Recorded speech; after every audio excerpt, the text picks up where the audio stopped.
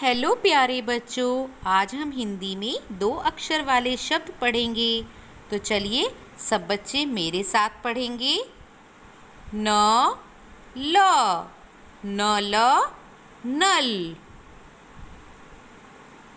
नल। घ, र, घर घर। घर।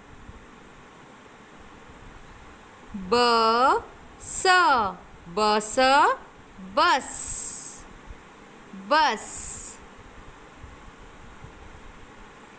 फ, ल फल फल फल।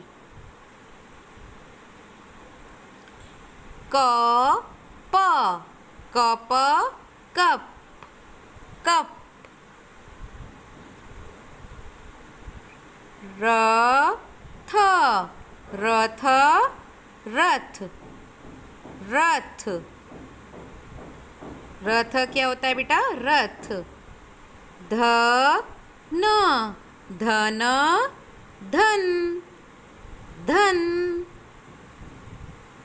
ख, ग खग खग ओके स्टूडेंट बाय